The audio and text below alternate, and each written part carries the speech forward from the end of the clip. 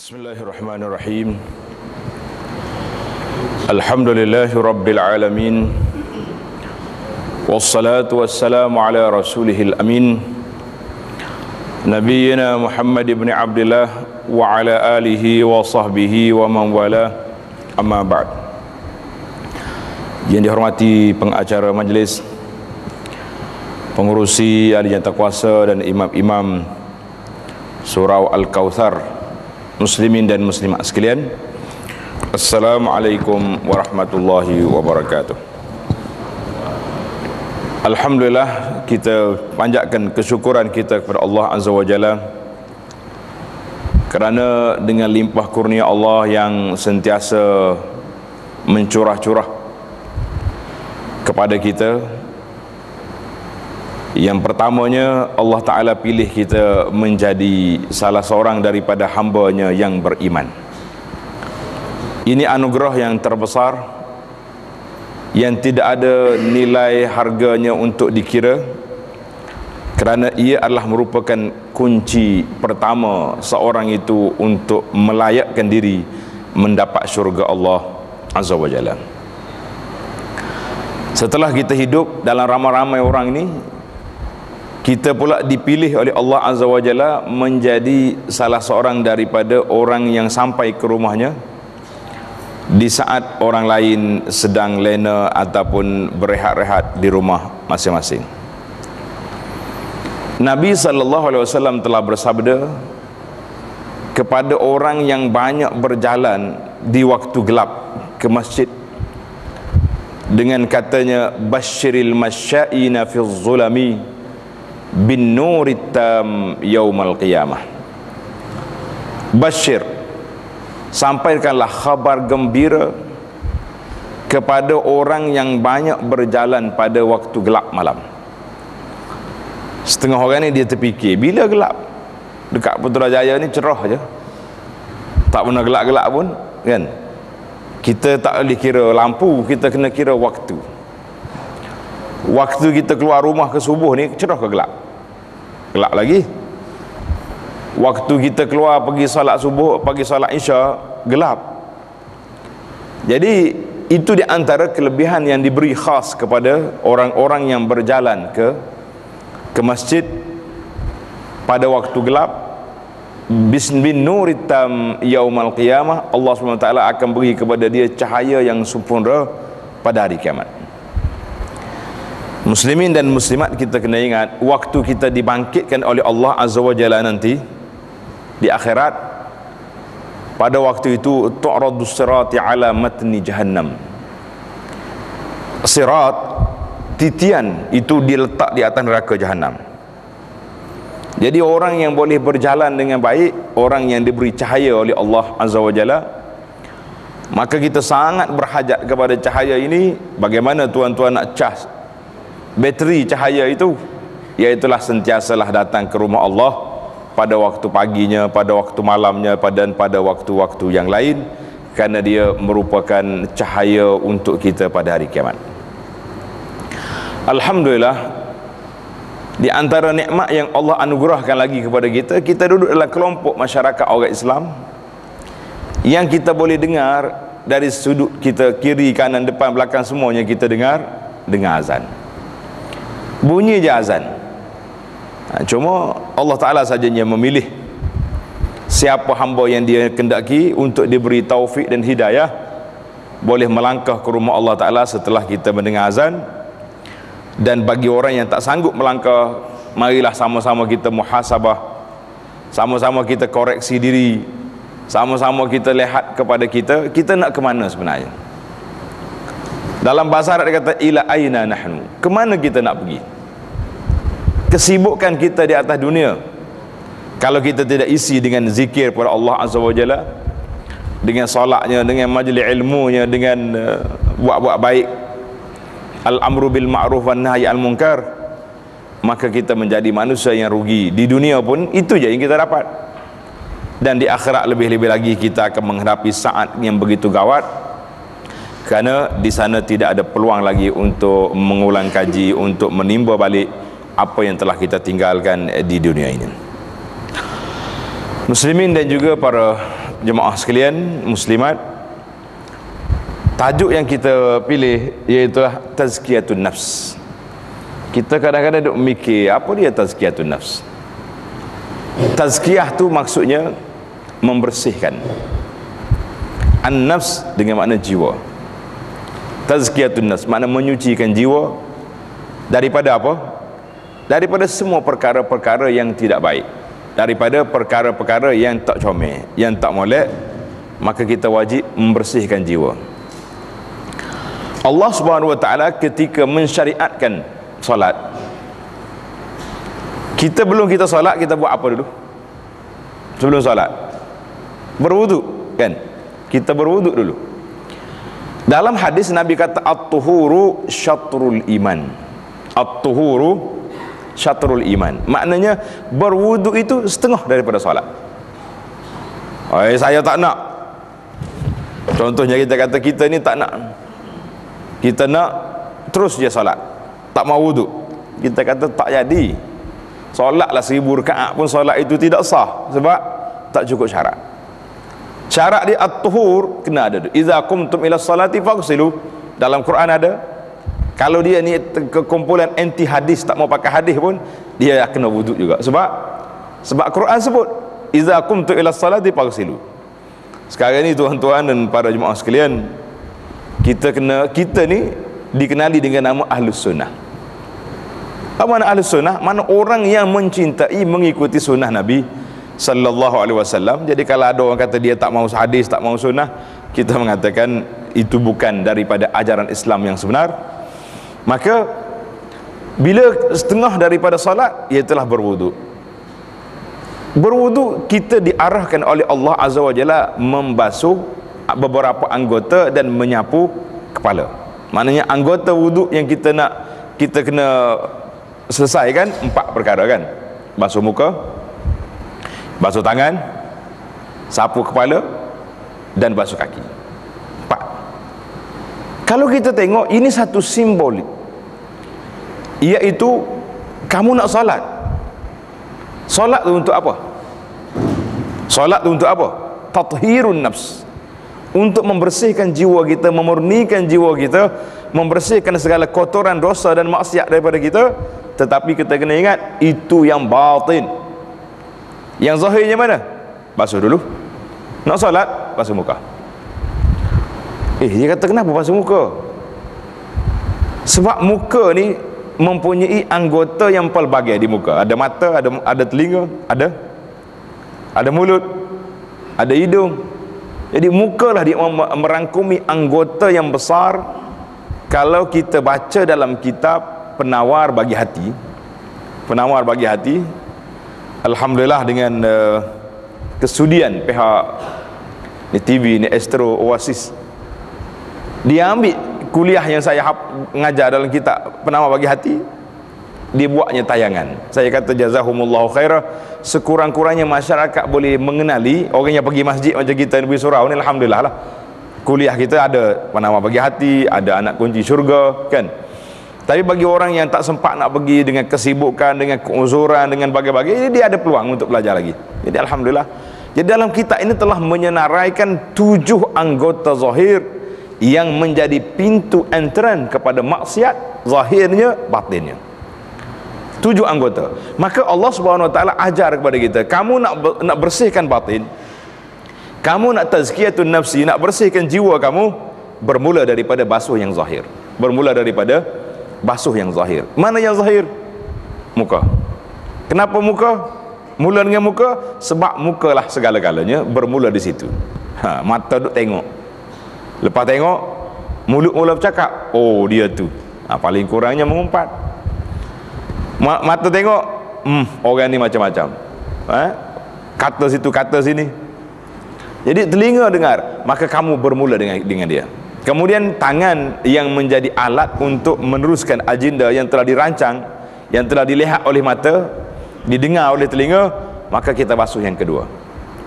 Mari yang ketiga anggota yang ketiga kepala kenapa Allah Ta'ala tak suruh basuh kepala? Dia suruh sapu je kepala.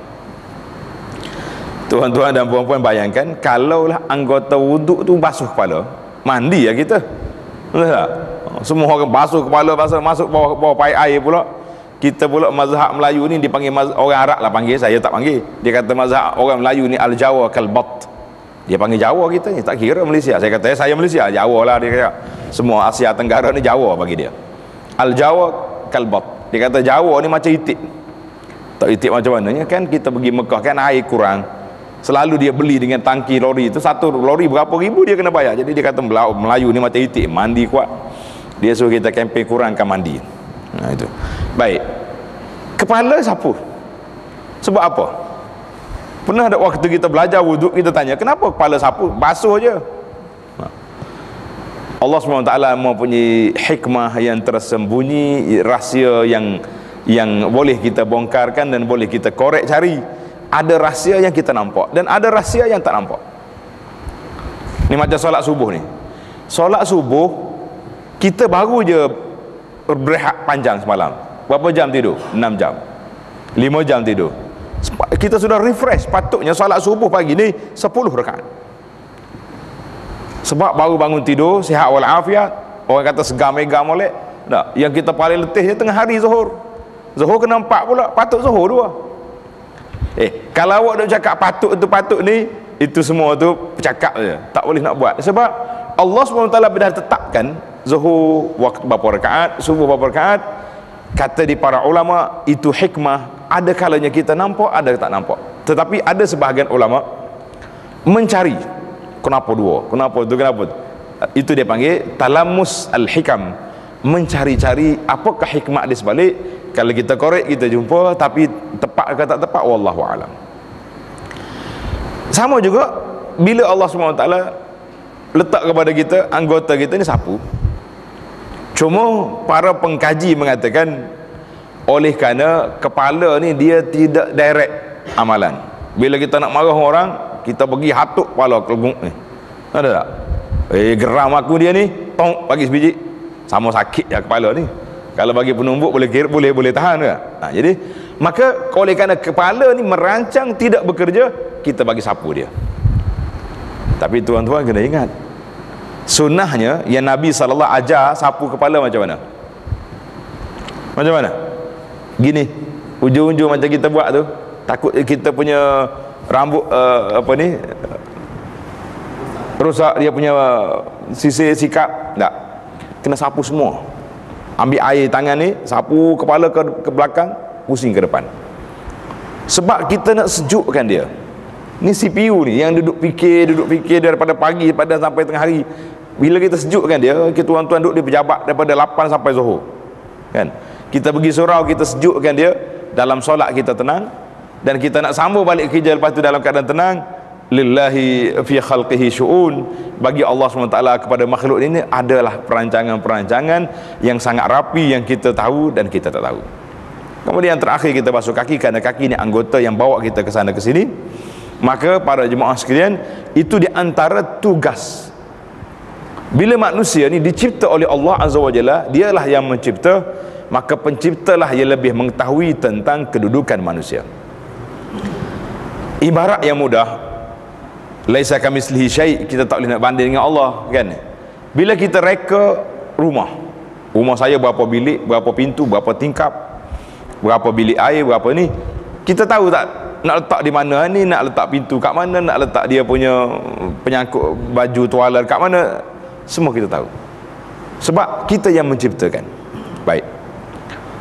Nak banding dengan Allah tidak ada bandingan Allah Subhanahu Taala yang mencipta manusia mencipta makhluk dia tahu dalam jiwa manusia ni ada akal ada nafsu. Dalam jiwa manusia ni ada sifat malaikah sifat-sifat kemalaikatan maksud sifat yang baik yang yang cantik yang murni. Dan ada juga sifat syahwaniyah yang bersifat seperti hayawan. Semua kita ada. Seorang manusia dalam dia sifat dia ada belaka. Kalau nak tengok singa dia pun singa kalau nak tengok tikus dia juga tikus. Menyelik sana sini. Nak tengok arnab yang baik-baik gerak telinga je ada juga waktu-waktu. Jadi di dalam diri manusia ada semua. Oleh kerana itulah sebagaimana sebagaimana kata di para ahli fikir ulama-ulama at-tibbul qulub yang bercakap tentang hati manusia mereka mengatakan siapa dia sakit dia berubat dengan kepala otak dia. Dia tak tanya doktor tak tanya tabib maka dia lebih, lebih oh, penyakitnya lebih parah daripada mendapat penawar kita sama tak?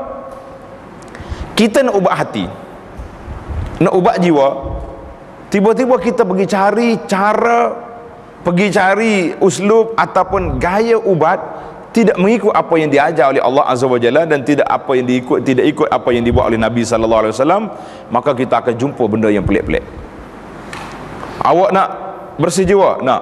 Ikut saya. Pergi mana? Bertapa dalam gua 40 hari 40 malam. Oh sudah. Kan? Saya sudah jumpa dulu dengan seorang pemandu teksi. Saya naik daripada airport nak pergi Kuala Lumpur. Dia tengok saya pakai jubah dia tanya. Dia tu saya kira ustaz lah ni. Kata ikutlah awak nak panggil apa pun. Dia kata saya sekarang ni sedang confused. Kata confused apa? Confused dengan ayah dia. Konflik dengan ayah dia sebab ayah dia nak ajak pergi bertapa dalam gua. Oh saya kata gua untuk apa? Untuk membersihkan jiwa. Oh nak bersih jiwa masuk dalam gua rupanya. Habis kenapa tak pergi? Saya duduk fikir 40 hari ni tak bawa teksi berapa duit hilang. Ah ya. Kemudian saya fikir lagi 40 hari kali berapa minggu tak solat Jumaat. Bila tanya ayah dia Jumaat macam mana ayah? Oh kita sakit. Orang sakit gugur solat Jumaat. Dia kata sakit apa? Tiga pinggan nasi tak cukup jadi ini semua mencari penawar ilaj tidak mengikut kaedah yang yang diizinkan oleh Allah Azza wa Jalla. Maka di antara lorong yang digunakan oleh syaitan ataupun kalau tuan-tuan pernah baca buku yang Ibnu Jauzi Talbisu Iblis putar belik syaitan ini ahli ibadat dia akan masuk lorong ibadat. Ahli maksiat jangan kira itu. Itu banyak lorong. Cabang-cabangnya begitu banyak semuanya lebuh raya belakang tapi ahli ibadat agak sempit. Awak nak ibadat ya? Ikut saya. Jadi kita tak payah solat Jumaat, kita tak perlu solat jamaah, kita tak perlu tak sebab kita ni kira-kira orang sakit, hanya bertapa dalam gua dengan bertapa dalam gua Allah Taala angkat darjat kita, maka di situ kata di para ulama kam min muridin lil khairi lam yusibhu. Berapa ramai orang yang mencari jalan yang baik tak jumpa. Sebab apa tak jumpa? Silap pergi cari lorong silap masuk lorong. Bila masuk lorong silap maka kita tak akan bertemu dengan dengan apa yang kita kendaki mungkin di akhir nanti saya akan sebut beberapa kitab cadangan untuk tazkiyatun nafsi pembersih jiwa yang kita ada ini sebab kita jangan duk cari yang pelik-pelik. Kita cari yang benar yang jelas yang mudah untuk diikuti. Kalau mari orang suruh awak ah, awak nak ikut? Hmm, ambil cuti seminggu. Kita pergi sana sini kita mengatakan tidak. Nabi SAW tak pernah bawa sahabat-sahabat dia bercuti uh, duduk bertapa dalam gua paling banyak pertapaan kita umat Islam ni beriktikaf di masjid. Tak nak pula. Mari kita iktikaf 10 hari Ramadan sampai raya. Berapa orang iktikaf ha? tak ramai ada iktikaf tapi kalau ajak masuk gua jangan main. Hmm. Saya nak buat li tua masuk gua pula. Macam mana? Buat boleh jadi ramai orang ikut. Sekali dengan ustaz sekali dengan saya. Hmm. nah, kita punya pengikut bukan main ramai. Ya kat manusia ni suka mencari benda yang pelik kerana itu kata di ahli ahli falsafah Arab khalif tu'raf. Menyalahi perbuatan orang itu kita akan dikenali. Ha, nak masuk sakabah buat benda pelik sekali tu biar keluar sakabah. Kesilap-silap muka depan kita. Hmm. baik. Di dalam ilmu tazkiyatun nafsi ni kita balik kepada cara yang benar yang sangat mudah iaitulah sebagaimana Allah SWT sebut dalam surah Al-Jumu'ah. Surah Al-Jumu'ah. Ada benda-benda sebutan ni kita kena betulkan. Kita kata surah Jumaat tak ada surah. Surah Jumaat tak.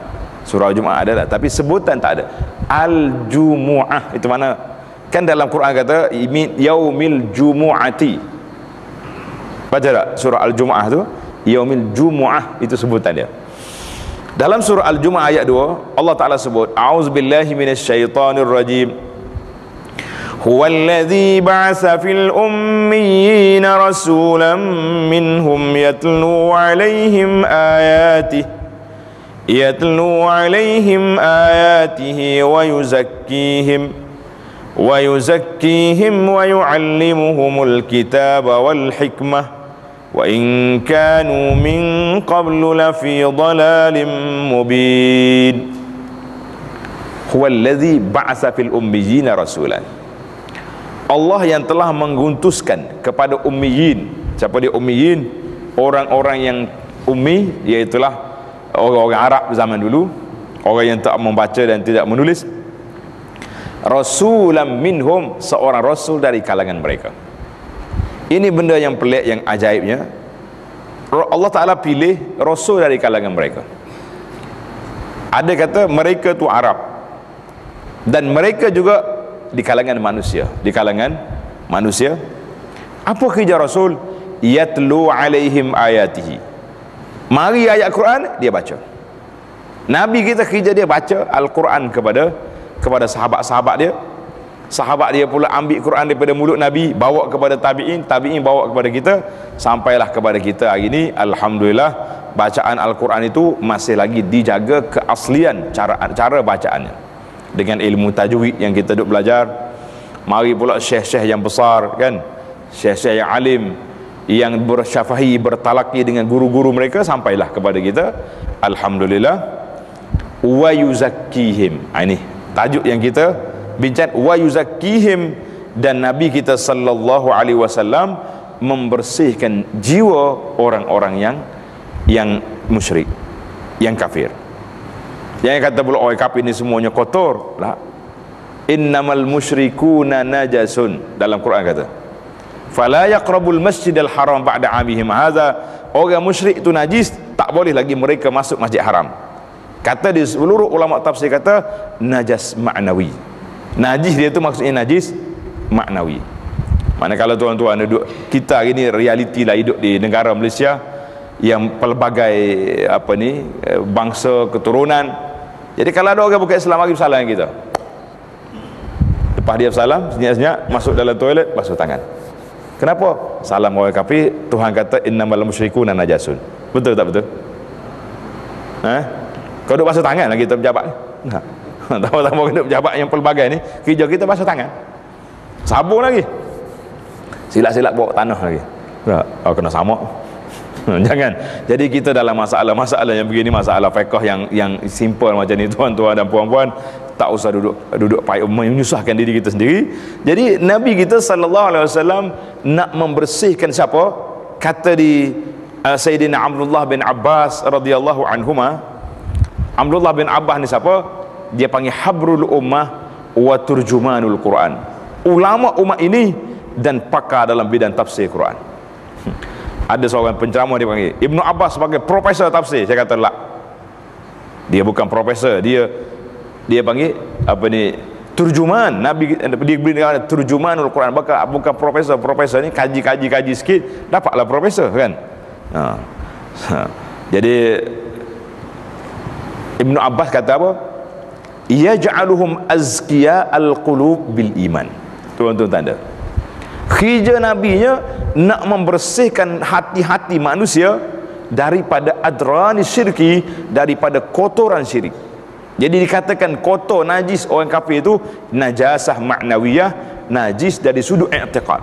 Sebab apa? Sebab mereka melakukan syirik terhadap Allah Azza wa Jalla bukan najasah aini setiap kali kita sentuh dia kena basuh setiap tadi kita apa ni bersalam dengan dia kena pergi basuh atau atau sebagainya dan kata Ibnu Jurayj dan Muqatil ayyutahhiruhum min danasil kufri waz zunub Nabi kita kerja dia nak membersihkan hati manusia daripada kotoran kufur dan juga dosa-dosa.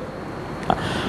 Jadi hari ini kita nampak Sebelum hari ini kita habiskan terjemahan ayat wa yuallimuhumul kitab. Kerja yang ketiga Nabi kita sallallahu alaihi wasallam mengajar kepada uh, sahabat-sahabat dia kepada umat dia makna al-kitab. Al-Quran turun simple. Orang Arab bila dengar Quran semuanya faham. Tetapi memahami nak memahami maksud Al-Quran itu perlu pada belajar. Orang Arab dia boleh faham.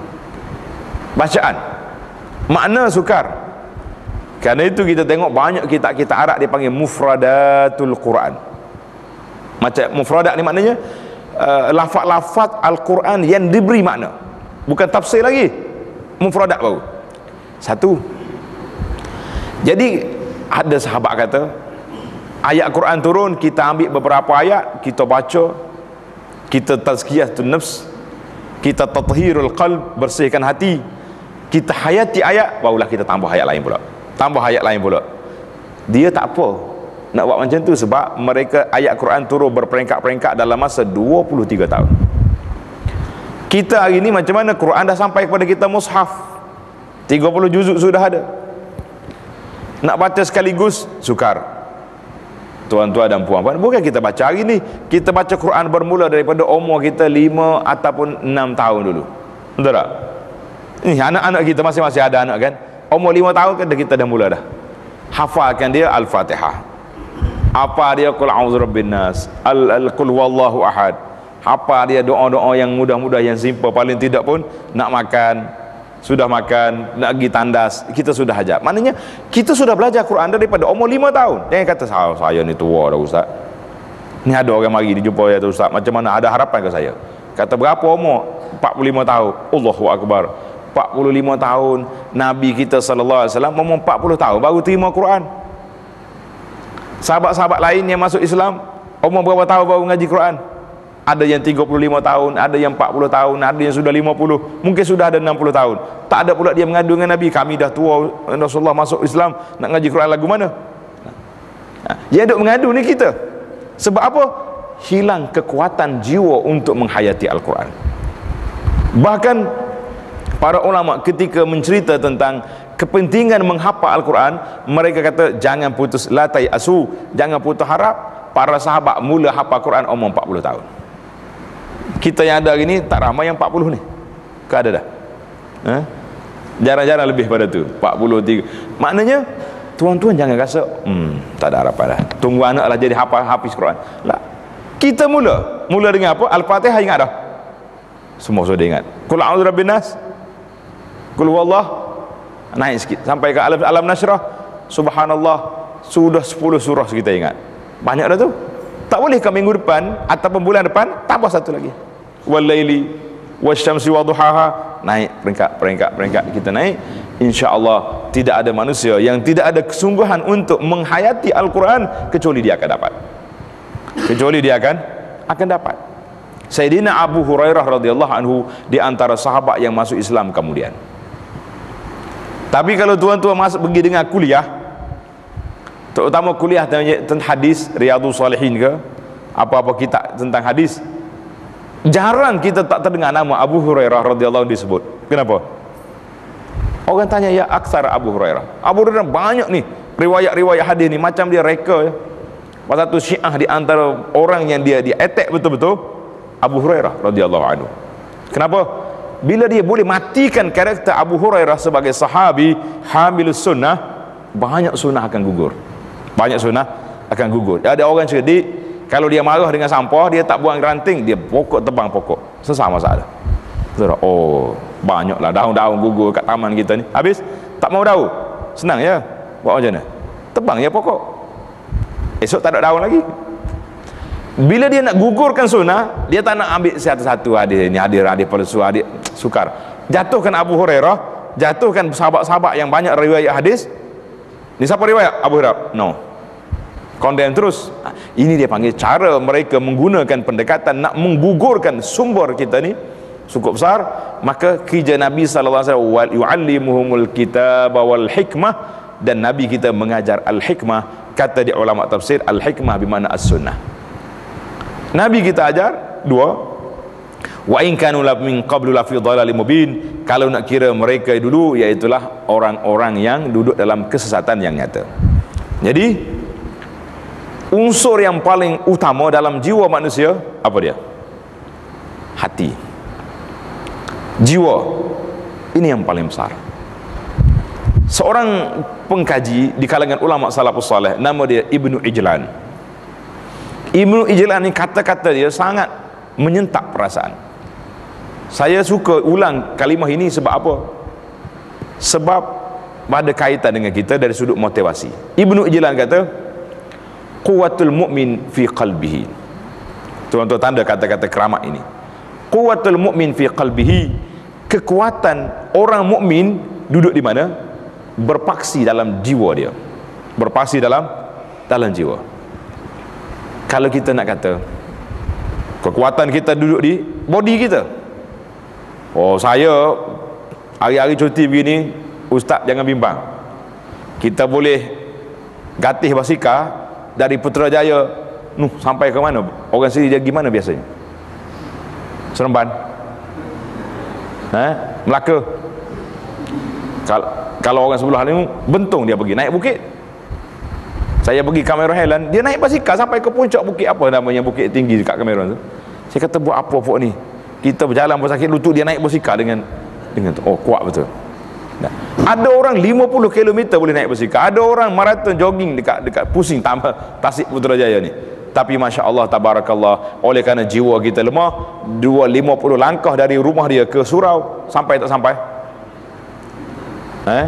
tak sampai juga di pengurusi surau kena tulis di antara manusia yang lemah apabila tak mampu melangkah dari bilik dia ke surau 50 langkah inilah manusia yang paling lemah dalam dunia. Tak kira lah kita besar pangkat ke hebat ke kita boleh angkat besi 50 kilo berapa besi kita boleh angkat. Tapi kekuatan jiwa kekuatan mukmin duduk di mana? Fi qalbihi duduk dalam jiwa. Mana bukti? Dia kata berapa ramai kita tengok orang tua-tua merangkak bertongkat berjalan dia pergi ke masjid. Masya Allah Tabarakallah hari Isnin hari kami cuba pergi bisik-bisik dengan orang tua-tua. Atuk puasa hari ni? Puasa? Kita orang muda ni belum buka kedai lagi. Ketuk pintu. Lambat buka hari ni kenapa ni? Banyak tidur lah. Marah pula dengan mamak lambat buka pintu dah. Tengok. Les sebab apa? Sebab kita tidak mempunyai memiliki jiwa yang besar untuk menjadi hamba Allah yang akan disediakan yang telah disediakan oleh Allah Azza wa Jalla. Bekasnya tempatnya di syurga arduha ka ardis samawati wal ard. Yang luahnya syurga ni seluah langit dengan bumi. Orang badui dia tanya kalau luah langit dengan bumi kat mana bilang bulan bintang apa ni? Duduk di mana lagi? Benda-benda lain. Matahari bulan bintang. Jadi kata di para ulama mengatakan tak usah duduk main banyak dah ada sudut psikologinya. Senang je. Dia kata kita ni ada malam dengan siang. Waktu ada malam siang duduk kat mana itu dia panggil dari sudut jawapan yang paling yang paling mudah. Maka paksi kehidupan seorang manusia duduk terletak di mana? Fi qalbihi dalam hati dia. Sehingga ke Nabi SAW sebut dalam hadis yang sahih diriwayat oleh Imam Bukhari rahimahullah ta'ala dan juga Muslim Nabi mengatakan ala wa inna fil jasadi mudrah. Ala wa inna fil jasadi mudrah. Ingat dalam jasad manusia dia ada seketul daging iza saluhat saluhal jasadu kullu. Bila baik dia ni maka baik semua yang lain. Rusak yang ni rusak habis hak lain. Apa dia? Ala wahyal qalbu iaitu hati manusia. Hati manusia ini di antara tempat yang mahallun nazar tempat Allah Taala tengok kepada kepada seorang hamba. Saya selalu sebut yang membezakan di antara kita dengan dia. Maksud dia tu orang lain. Saya dengan awak. Kita adik-beradik. Kita keluarga sepupu. Kita kawan-kawan. Kita ahli qaryah ahli surau ahli masjid. Tetapi yang membezakan di antara kita dengan orang lain di sisi Allah azza wajalla al-qalbu kedudukan hati kita. Kita memiliki hati yang salim sejahtera daripada penyakit-penyakit sejahtera daripada syubhat keraguan-keraguan yang ditimbulkan terhadap agama ataupun hati kita baik maka kita je yang boleh menilai kita. Kalau orang tanya kita oh saya tak apa tak solat pun hati baik. Ha, ramai juga lah gitu kan. Bila tanya awak ni kenapa tak solat? Oh hati baik tunjuk sini kalau kan? Kenapa tak aurat? Yang perempuan pula oh hati baik ada seorang makcik mari tanya. Tanya direct dia kata ustaz saya nak tanya anak saya ni macam mana? Kenapa makcik? Oh dia baik tolong orang. Uh, apa ni kalau mak minta duit ni dapat lalu minta 100 dapat 200 tapi macam mana nak buat? Solatnya kurang aurat tak mau tutup. Takkan saya nak kata anak dia jahat? Dia kata baik dia ada jatuh hukum anak dia baik. Kita jangan main-main dengan anak orang. Nah, anak kita yang kita boleh marah anak orang marah bertumbuk dengan ayah dia. Kan? Saya kata makcik nasib lah. Dia kata nasib apa? Anak makcik baik dengan orang tak baik dengan Tuhan. Baik dengan orang tak baik dengan Tuhan. Dia kata kenapa? Huh, orang nak minta tolong bagi tolong selalu. Orang minta bantuan bantu terus. Tapi bila Allah Ta'ala suruh solat kenapa dia tak nak? Bila Allah Ta'ala suruh tutup aurat kenapa tak tutup? Maka kita kata dia tak baik dengan dengan Tuhan. Orang ni tidak selamat kita ni tuan-tuan dan puan-puan kalau kita baik dengan Allah ada orang ni Masya Allah Tabarakallah. Tuan-tuan tengok dia surau masjid kelah agama ada selalu. Sah depan. Kalau muslimat pun sama juga. Ada je tempat mengaji. Tapi kalau duduk dekat dia tak sampai 10 minit laser dah. Dia panggil mulut laser. Agak-agak orang ni syurga ke tak syurga? Orang pernah tanya Nabi SAW ya Rasulullah makcik ni puasa pada siangnya berdiri pada malam. Tahajud. Walakinnaha tu'zi jaraha jiranaha. Tapi dia ni suka menyakiti jiran. Suka menyakiti jiran. Patutlah kalau dengan otak kita kita kata apa? Hmm, tak apalah. Mungkin dia banyak dah kebajikan dia buat tu kira lepas kan? Lah Nabi kata hiya finar orang dalam neraka sebab apa? Dia baik dengan Allah tak baik dengan makhluk. Dengan makhluk Allah Azza wa Jalla. Tuan-tuan yang selalu berdoa waghfir zunubana wa kaffir anna sayyiatina. Ingat dalam doa kita nah ya Allah ampunkan dosa-dosa kami dan hapuskan kesalahan kami. Ini nuktah kalau orang belajar tafsir dia panggil nuktah nama nuktah satu poin yang kita kena perhatikan Al-Quran itu iaitulah zunub dosa. Dosa apa? Dosa kita dengan Allah Azza wa Jalla. Yang kita duk baca dalam hadis kan? Siapa dia mari masjid sekali dia melangkah hapus eh, angkat darjat. Sekali dia letak kaki hapuskan dosa. Sekali kita ambil wuduk digugurkan semua dosa-dosa dia itu zunub. Dosa kita dengan Allah Azza wa Jalla. Dosa kita dengan dengan Allah. Tawakkafir anna sayyiatina. Ya Allah hapuskanlah kesalahan-kesalahan kami. Kata dia ulama tafsir sayyiat di sini iaitu dosa kita dengan makhluk. Dosa kita makhluk tak cukup dengan hantar kad raya. Tulis maaf zahir dan batin. Sekali dengan batin tu maaf tu. Tak? jumpa lepas salat raya begini sat tangan. Oh kita ingat ke? Dapat kad raya maaf zahir dengan batin. Ni kalau jumpa berpeluk hari ni. Tak lo tangan salat selamat hari raya. Muka tengok ke lain? Rupanya kad beraya kad yang maaf zahir dengan batin tuan tak batin lagi. Tengok setakat tulis buat apa? Kalaulah dengan tulisan itu menyelamatkan kita kita mengatakan orang yang paling kuat kita umpak dia dialah kak yang paling besar sekali antara. Oh, buka tu selamat hari raya bunyi dengan suara-suara lagi. Maaf zahir dengan batin bunyi lagi kan? Tak ada faedah lagi yang faedah di mana? Ayah al-qalb maka jiwa kita Bagaimana kita nak salimul qalbi Nak betulkan jiwa kita inilah para jemaah sekalian Yang menjadi mahalun nazar Tempat tilikan Allah Azza wa Jalla Yang beza, membezakan di antara kita dengan saudara-saudara kita Yang membezakan dengan orang lain Iaitulah pemilik hati yang sejahtera. Sejahtera daripada apa? Ulama menyenaraikan sejahtera itu dua perkara. Yang pertama Sejahtera daripada penyakit syubuhat Penyakit apa? apa dia syubhat? Penyakit-penyakit yang ditimbulkan terhadap agama. Kita ragu tentang Islam. Orang mari hari ni orang attack. Dia kata apa baca-baca hadis? Quran je kita pakai. Oh, sudah. Orang mari pula macam ni macam ni itu dia panggil keraguan-keraguan yang kita ada. Sekarang ni kita kadang-kadang bercakap macam pelik je. Gitu tak? Sebab apa? Sebab kita tidak mengikut ajaran yang diajar oleh Allah dan Rasulnya sallallahu alaihi wasallam maka kita akan menjadi manusia ajaib Penyakit yang kedua dia panggil penyakit syahwat. Apa dia penyakit syahwat? Syahwat ni banyak. Dalam kitab penama bagi hati tuan-tuan yang belajar ni, saya mau balik dalam kitab kita tu, penyakit syahwat ni banyak. Penyakit cintakan dunia, penyakit hasad kepada orang, penyakit riak dalam ibadat, penyakit takabur, tak mau terima pandangan orang, tak memperlekehkan orang, penyakit syarahu ta'am, suka makan, eh, makan masuk juga. Masuk kalau banyak. Makan sikit tak ada masalah kan? Penyakit uh, gila kan kemasyuran nak glamour kita ni. Uh, buatlah benda yang pelik-pelik. Pasal itulah kadang-kadang bila kita sekali-sekali naik pentah masuk TV baju kita berkelip sebab nak suruh orang kata comel. Ini semua penyakit. Amradil qulub. Penyakit-penyakit hati inilah yang perlu kita ubat yang perlu kita gilap yang perlu kita kita cuba mencari sebab apa di antara penyakit-penyakit hati yang besar iaitulah uh, yang menyebabkan manusia mudah melakukan dosa dan maksiat sebab kita terlalu mencintai mengikuti hawa nafsu. Ikut hawa nafsu. Dia nak apa? Buat belaka. Godaan pula banyak. Kalau kita duduk di sini bandar ni kadang-kadang orang mari nak jual benda-benda. Eh bukannya mahal pun. 200 je sebulan.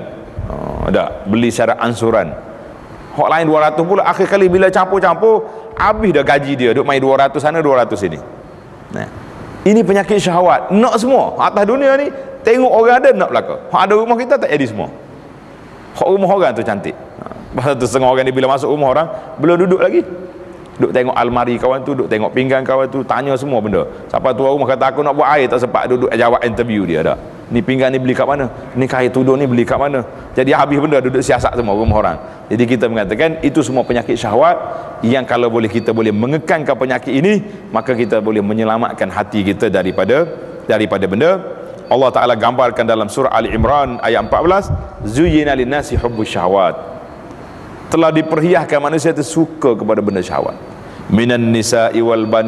qanatiril muqantarati waz zahab minaz zahabi wal fiddati wal khair. Semua ayat Quran ini tanda. Nanti balik cek tengok berapa jiwa manusia suka kepada syahwat suka kepada mengikuti uh, syahwat ini. Di antara syahwat yang menyebabkan manusia terjebak dengan maksiat iaitu hubbur riyasati wal jah suka kepada pangkat dan kedudukan. Kita kadang-kadang masya-Allah tabarakallah nak naik pangkat kita sanggup kita apa ni hina kawan sendiri asalkan kita boleh dapat apa yang kita nak dan kita boleh menjatuhkan kawan-kawan dengan sebab apa? Dengan sebab itu yang kita nak. Maka para jemaah sekalian oleh kerana tanda waktu sudah macam di iklan dah tamat waktu kita balik kepada wasail cara-cara bagaimana kita nak tazkiyatun nafs.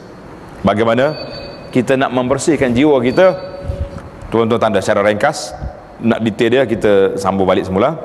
Yang pertama murnikan tauhid kepada Allah Azza wa Jalla. Tak mungkin orang punya jiwa tenang kalau tauhidnya tak betul. Nah. oh saya ni kita masih lagi percaya kepada benda takhayul benda khurafat benda-benda yang tak baik percaya lagi. Orang mari belah kelapa kelapa pula tak orang belah pun tebika tebika juga kita. Jadi tak ada tak ada identiti jati diri tauhid. Itu yang perlu yang perlu kita kena belajar. Kita kena betul. Saya kata tuan-tuan yang kita duk belajar sifat Allah azza wajalla kita belajar kita pasak dalam jiwa kita tiga sifat yang utama. Iaitu Allah taala Maha mengetahui Allah taala Maha mendengar Allah taala Maha melihat. Tiga sifat ini letak dalam hati. Setiap kali nak buat mesti gilap balik tiga sifat. Aku nak bercakap benda ha orang ya. Allah Taala Maha mendengar. Innahu samiun alim. Allah Taala Maha mengetahui. Nak bagi rasuah Allah Taala tengok basar. Jadi semua benda kita tak akan mampu nak buat maksiat. Sebab apa? Kita sudah ada break di hadapan kita yang cukup kuat. Yang kedua cara yang kedua as-salatu wa fi'lul wajibat. Melakukan salat dan semua ibadat-ibadat lain yang wajibnya dan yang sunatnya saya di antara kempen yang kita buat para jemaah sekalian iaitulah jaga solat. Kemudian yang fardu. Itu wajib kena jaga. Yang kedua kita kena jaga solat sunat. Solat sunat kita jaga. Dia panggil sunat sunat rawatib. Solat sunat ritir. Solat sunat duha. Ini kita jaga. Yang ketiga iaitulah zikir-zikir yang maksur daripada Nabi sallallahu alaihi wasallam kita ambil zikir pagi, zikir petang, zikir lepas solat. Di antaranya yang saya uh, bagi tu kat tu senang ya. Kita tak dalam poket kita hafal zikir lepas lepas solat. Tak kira lah. Kalau kita jadi imam imam. Kalau imam kita yang pentingnya kita berdikari. Bacaan zikir lepas solat 10 perkara ni jangan ditinggal-tinggalkan. Dan kalau kita mampu kita punya hati yang kuat kita boleh puasa pada hari-hari tertentu. Hari Ashura kita puasa. Hari Arafah kita puasa hari Isnin kita puasa, hari Khamis kita puasa. Jadi hari-hari yang dianjurkan puasa kita masuklah. Ketika kita ada masa sekali-sekala kita rasa sihat. Yang ketiga iaitulah meninggalkan perkara-perkara yang haram yang diharamkan oleh Allah Azza wa Jalla. Kalau kita tahu benda itu haram, tinggalkan. oh, jangan kata haram, haram. hari ni orang pandai bila ustaz kata ini haram ni dia tanya balik dosa dosa kecil ke dosa besar tu oh, falsafah tinggi betul tanya balik dosa kecil dosa besar. Eh masya Allah tabarakallah. Yang keempat sentiasa muhasabatun nafs. Koreksi diri. Malam-malam nak tidur kita mikir tengok. Hari ni Allah Ta'ala beri kepada aku daripada malam tadi sampai malam ni. 24 jam 24 jam kali dengan 60 minit kita punya minit uh, dia punya total 1440 minit. Nah. Daripada semalam sampai hari ni berapa kali kita zikir? Berapa kali kita sebut nama Allah berapa kali kita istighfar? Istighfar. Berapa banyak orang yang kita sudah makan hari ni? Maksud tahu kita makan orang? Mengumpat. Belum tidur kalau boleh bersihkan hati daripada sifat-sifat dengan kita berjanji dengan Allah Azza wa Jalla ya Rab aku tak nak buat lagi esok. Jangan korek kira-kira kira esok sambung pula. Entah dia. Kira dengan harapan esok tak buat lagi. Ha, ini panggil kita buat. Hmm. yang kelima iaitulah perbetulkan adab dan akhlak kita. Adab kita akhlak kita banyak kita kena betulkan. Yang keenam menuntut ilmu syar'i menuntut ilmu agama. Yang saya sebut tadi di antara kitab yang cantik lah untuk kita permulaan kita nak melangkah ke alam uh, menuju Allah Azza wa Jalla ini di antara kitab kita belajar kitab penawar bagi hati. Cukup dah tu? Oh saya tak nak ustaz. Saya nak yang besar-besar. Kita apa? Hmm. Ihya Ulumuddin contohnya tu anak bawa pun tak tak larat. Dia lah empat jilid besar. Bila nak habis baca? Tak. Nah, kita baca yang kecil tapi boleh terus diamalkan. Apa yang kita belajar? Madai. Dalam hadis kalau kita nak belajar hadis riyadus salihin. Riyadus salihin itu lengkap. Dengan ilmu tasawufnya dengan ilmu akhlaknya dengan ilmu adabnya dengan ilmu-ilmu pelbagai semua ada dalam kitab riyadus salihin. Imam Nawawi rahimahullah taala seorang imam yang diberi taufik oleh Allah azza wajalla dapat menyusun kitab yang begitu indah yang begitu cantik. Jangan duk bacalah kitab yang pelik-pelik orang buat mari jangan. Ini ada kitab nama kitab dia hakikat insan. Oh. Saya buka dua muka surat tiga muka surat jumpa benda pelik dah. Dia hurai bismillah tu cukup dah. Ba apa dia? Mim. Jumpa lepas ni ya nah cakap dalam ni susah pula ramai orang dengar ni. Namanya orang cari pula kitab tu susah. Jadi menuntut ilmu yang benar iaitulah kita jangan duk pelik-pelik jangan duk susah-susah. Kadang-kadang orang ni bila belajar nak belajar ilmu pencucian jiwa ilmu tasawuf ni dia kata ilmu yang payah kita kena belajar sampai tak faham. Ha, saya jumpa ni soal dia kata dia dia pernah kata ustaz ustaz tahu ke tak? Dia tu terpakar ilmu tasawuf. Saya kata setara mana pakar dia? Kalau dia mengajar kita tak faham. Oh itu pakar saya kata saya berhenti juga nak jadi pakar. Kita jadi pakar ni kita mengajar nak suruh semua orang faham. Dia kata bila kita dia mengajar tak faham itu pakar nama dia. Yang ketujuh mujahadatun nafsi wal hawa. Kita kena kita kena lawan dengan nafsu dengan hawa dengan segala syaitan. Yang kelapan sentiasa beristighfar dan taubat. Jangan tunggu taubat perdana baru kita taubat. Setiap malam setiap waktu. Yang kesembilan carilah sahabat-sahabat yang soleh yang kita mengingatkan kita oi dua dua tiga waktu tak ada di masjid SMS dah. Mana kau pergi? Ha, tanya selalu dah. Yang ke sepuluh sentiasalah tengok dalam hati kita ni scan tengok ada tak perasaan gurur ria uh, takabur kena tengok. Yang ke sebelas sentiasa sabar. Sabar ni kata di para ulama beberapa peringkat sabar dalam melakukan ketaatan sabar nak meninggalkan maksiat dan sabar ketika ditimpa musibah. Tiga jenis sabar semuanya kita kena gunakan. insyaAllah mudah-mudahan tazkirah kita yang ringkah ini ada manfaatnya untuk kita dalam panduan tazkiyatun nafsi nak membersihkan jiwa.